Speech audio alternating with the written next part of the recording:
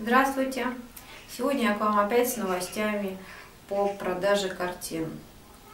А, у меня две работы были приобретены больше месяца назад одной покупательницей, которая до этого уже у меня достаточно много работ купила. А, и она сразу эти работы как-то не, ну, не договорилась, как нам ей их отослать. Она сама родом отсюда, и у нее тут много знакомых э, из Воронежа, а живет в Москве. И она э, сказала, что ей кто-то по пути завезет эти ну, картины мои, кто-то за, должен заехать забрать. И вот, короче, время идет, покупательница как-то ничего не пишет. Э, я уже стала волноваться, думаю, ну что такое, деньги уже переведены давным-давно, работы человек не забирает. Попросила Руслана с ней списаться, так как он у меня отвечает за а, вот эти вот все а, а, организацию коммерческих связей, кстати, вот он по образованию организатор коммерческих связей, и обсудили, в общем, с покупательницей, в итоге она согласилась, чтобы эти работы ей отослали. А каким образом? Почтой обычно? Транспортной компанией. Транспортной компанией. Да. Ну вот, то есть э, бывают и такие люди, которые оплачивают, как бы покупают работы, но при этом сразу не готовы их забрать. Конечно, немножко странная ситуация для меня, то есть вот мне кажется, если ты там платишь за что-то деньги, хочется как можно быстрее начать этим пользоваться. Но вот бывает и такое.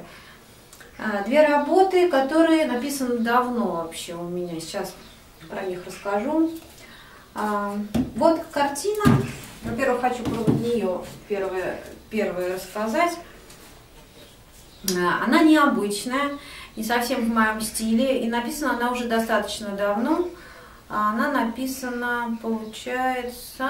Ну, там 14 год. Полтора года назад, да. Она написана на Пхукете, когда мы жили. Мы тогда там жили два месяца в ту зимовку. Потом поехали в Вьетнам. Ну, потому что виза там у нас всего лишь, по-моему, была на три месяца в Таиланде. И вот за это время я там много работ успела написать, включая вот эту работу. А, работа эта, она как-то вот в интернете не возымела особого какого-то там, воздействие, мало лайков собрала, как-то народ на нее среагировал, хотя мне самой она очень нравилась, потому что она ну, в необычной совершенно технике, она такая декоративная, и я ее представляю очень хорошо в современном интерьере с белыми стенами. А, то есть она, на мой взгляд, ну, стильная, такая необычная. Но вот как-то люди почему-то не, не восприняли ее. Может быть, э, сочетание цветов им показалось странным. А, ну, может, не знаю, там, сюжет, ну, не знаю, но это, на мой взгляд, конечно, это на любителя, то есть вот на белой стене я ее представляю, причем без рамы совершенно, вот именно вот в таком вот виде, она, кстати, у меня тут прокрашена, вот, торец таким вот, немножко фиолетовым. Вот, и эта работа, она у нас э, достаточно долго, да, была, получается, полтора года, вообще работы э, редкие так залеживаются, и я на нее ставила вначале цену выше, потом я ее снижала, потому что чувствую, ну, работа как-то залежалась, нужна движуха. Вот, э, хочется, чтобы нашелся на нее покупатель, ценитель, и я снизила цену. А работа достаточно большая, 40 на 60, то есть, в принципе, у меня обычно мой вообще стандартный формат это 40 на 50, вот мне на нем комфортнее всего, а это 40 на 60, Раньше я экспериментировала с такими форматами, сейчас э, такой формат я практически не использую, вытянутый. Во-первых, для меня вот он именно в пропорции не очень мне нравится. Я люблю ближе к квадрату все-таки, 40 на 50. А, ну вот мы на Пхукете когда жили, там был большой выбор холстов разных размеров. Сейчас э, вот там, где мы берем холсты, там как-то не особо большой выбор пропорций. Там еще на Пхукете мне очень нравились холсты 40 на 40 квадратные, тоже прям квадрат мне прям нравился. Ну, 40 на 40 маловато, я по 50 на 50, конечно, писала, но 50 на 50, а, там, где мы берем, там просто нету. Вот такую работу, значит, вот нашелся на нее покупатель, а, это хорошо, вот. И еще одна работа, которая тоже была написана, ну, она была написана попозже, она была написана прошлым летом, или в сентябре, или в августе.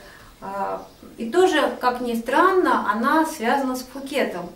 Хотя писала я ее в Воронеже. Она называется Пхукет Хуабич. Это такой небольшой пляжик, э, куда мы ездили с Русланом купаться. Там практически не было людей, там немножко было рыбаков и все.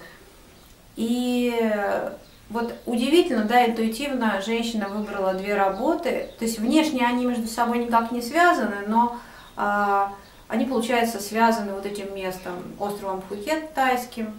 И это любопытно. Потому что, в принципе, про эту работу даже не написано нигде, что она на Пхукете была, что я ее там написала. Вот. Тут, тут в названии есть слово Пхукет, там ничего нигде нету, но вот человек как-то так интуитивную энергию, связанную с Таиландом, выбрал. Вот. Отработка небольшая, 30 на 40, тоже масло. Вот. И вообще, да, вот странный выбор. Обычно люди, когда выбирают э, работы несколько за один раз, они э, берут работы либо по гамме похожие, либо по размеру, либо по, э, ну, как по сюжету, да, там цветы. Ну, часто по гамме берут. То есть, а тут, получается, работы, но они совершенно разные. Может быть, человек, конечно, бывает такой, когда человек одну работу берет в подарок, другую работу берет для себя.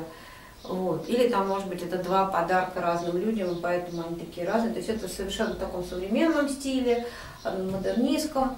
Вот это вот э, в более классическом варианте, ну тоже цвета достаточно яркие, но все равно здесь все-таки я кистью ее писала, ту работу я писала мастихином. Ну вот, вот такая интересная продажа. Сегодня эти картины у нас уедут в транспортной компании в Москву. И это хорошо, что они наконец-то уедут своему владельцу законному, потому что я вот себя ощущала неловко. Думаю, тем более, если я там соберусь куда-то уехать, там отдыхать, допустим, или мне захочется попутешествовать или на море, а, а тут в этот момент как раз эти поедут знакомые, то может такая неловкая ситуация получиться, да, что человек ждал полтора месяца, и тут мы не смогли ему их передать. Вот. Ну, вообще, а, немножко про текущие дела расскажу. А, у меня возникла идея, благодаря одному моему знакомому, написать серию абстракций. А вот чистых абстракций я не писала, но мне абстракции нравятся, скажу честно. И вообще мне хотелось давно начать писать абстракции, но, говорится, что-то ему мешало. Может быть, трое детей, а может быть, директор школы.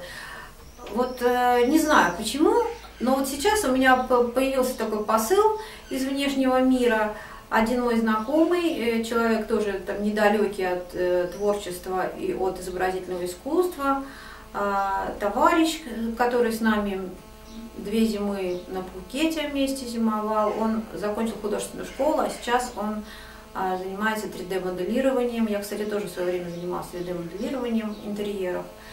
И он, то есть у нас с ним, в общем-то, получается по профессии много общего. И вот он мне написал недавно ВКонтакте, и там попросил совета, говорит, вот я смотрю, ты там картины пишешь, так это все интересно, так это все здорово, мне так вдохновляет, я хочу, говорит, тоже попробовать маслом. Дать там совет, что купить для начала, каких-то, может быть, там именно подсказок технических. А, вот, а потом говорит, э, а вот ты знаешь, там у меня там какие-то есть идеи, вот именно связанные с дизайном интерьера, а ты там могла бы там серию абстракций написать э, и дал мне ссылку показать каких. Потому что, в принципе, у меня-то готовых абстракций нету вообще, вот чистых абстракций. Вот. Но он сказал, ну это в перспективе, это не сейчас, я вот тут там продвигаю там свою идею, один проект. Вот. А я тут подумала, вот хороший повод написать абстракции, хотя бы попробовать себя в них, потому что абстракция это такая интересная тема, на мой взгляд, в абстракции, то есть, в принципе, я считаю, что у меня уже навыков достаточно для того, чтобы написать хорошую, красивую абстракцию, потому что мое представление в абстракции, первое, что очень важно, это колористическая гамма. А, то есть вот это вот, э, я считаю, что у меня с этим все в порядке, то есть я очень много этому уделяла внимания в свое время, и я думаю, что по гамме мои абстракции должны быть красивые. Второе, это именно решение тональное, то есть, что это означает? Сейчас объясню тем, кто начинает, возможно, не совсем понимает, о чем я говорю. Это вот, э, по сути, если взять вот э, картину вашу, да, и сделать ее черно-белой в фотошопе, ну или там в каком-то другом редакторе, убрать цвет, то хорошая, красивая картина, она будет хорошо выглядеть даже в черно-белом виде. За счет чего? За счет вот этой вот э, тональности именно сочетания светлых темных пятен, то есть переходов от оттенков по светлоте, не по цвету. Вот. Э, если в картине э, мешанина с тональностью, то есть если у нее нету э, четко светлых пятен, темных пятен, промежуточных каких-то пятен, если они плохо сочетаются, э, то картина даже в цвете будет выглядеть как-то не так. Это я просто объясняю сейчас тем, кто начинает. А, и поэтому, когда людей обучают э, живописи, э, в принципе, правильно это вначале учить делать человека черно-белый эскиз картины, именно разбирать по тону. По крайней мере, так меня учили. Вот, э, то есть надо находить самые светлые объекты, самые темные объекты и какие-то промежуточные. То есть надо четко э, представлять себе, что светлее, что темнее, потому что глаз, он воспринимает объекты объемными именно за счет вот именно вот этого светотеней, за счет вот этой тонального разбора. Вот. А поэтому это, в принципе, основная ошибка начинающих, что они могут как бы использовать э, все цвета одинаковой светлоты в картине. И вот тогда будет странно, да, вот они могут сами не понимать, почему такая мешанина. Вроде, может быть, и грязи даже нет, но вот что-то не считается, не, кон, не контрастно. Вот. Тогда работа получается не контрастная. Вот для тех, кто работает в графике, в фотошопе, для них это понятно понятие контраста. То есть ты э, просто контрастность движочек двигаешь, когда да, на фотографии, и фотография становится, она более броская. За счет чего? За счет того, что светлое становится более светлым, а темное становится более темным. Вот. И вот я считаю, в абстракции вот этот момент тоже очень важен. То есть цветовые пятна, которые там есть, они должны быть разобраны по тону. Что-то должно быть светлое, что-то должно быть темное, помимо э, именно колористической гаммы. Ну и третье в абстракции, на мой взгляд, что важно, это именно форма этих пятен. То есть форма должна быть эстетичной, она должна быть красивой. А те формы, которые присутствуют в абстракции, они должны красивую композицию составлять. То есть композиция тоже важна. По сути, получается, важно все то же самое, что и в обычных работах, там в букете, в пейзаже, и в портрете. То есть важно, чтобы а, была гамма красивая, чтобы был разбор по тону красивый, тональное решение, контрастность была в работе, и чтобы была композиция. Вот. Э, Все это я сейчас вот уже ощущаю на интуитивном уровне, поэтому я воспринимаю абстракцию с интересом, очень чужие абстракции. Есть э, у меня и любимые художники, абстракционисты, и работы я э, очень люблю собирать работы, понравившиеся в отдельные папочки для вдохновения. Именно у меня на компьютере очень много таких папочек по художникам чаще всего, но иногда по жанрам. Если, допустим, у одного художника мне не нравится много работ, то я его в какую-то общую, общую папочку вкладываю. Вот. И абстракция вообще интересная тема. То есть, да, по сути, ты не изображаешь объект вот такой, который узнаваем, да, умом твоим. Можно его, про, так сказать, просканировать и определение ему дать. Но при этом принципы все те же самые, что в обычной картине. И именно поэтому абстракции некоторые люди любят. Хотя вот у меня до поры до времени, я почему не писала, у меня э, было ощущение, что абстракции, наверное, будут хуже восприниматься, менее понимаемые потенциальными покупателями. То есть именно э, в коммерческом плане, что они менее выигрышны. Но вот сейчас у меня почему-то изменилось это отношение. Вот, видимо, что-то в голове перещелкнуло. И я написала одну маленькую работу абстрактную. Э, кстати, я, наверное, сейчас покажу, да, сразу. Вот. Абстрактную работу просто это была проба пера. У меня был подмалевок небольшой, она совсем маленькая. То есть э, ее, в принципе, я думаю, что такие абстракции, наверное, не востребованы. То есть абстракции, в моем представлении, они должны быть, во-первых, большие. То есть это должен быть холст, ну, не меньше, наверное, 50 на 70. И я представляю абстракции в интерьере, вот как э, был в прошлом дизайнер, да, архитектор-дизайнер, я представляю, э, что это должны быть, конечно, картины без рам. То есть они должны быть внушительные, большие, ну, 50 на 70 это минимум.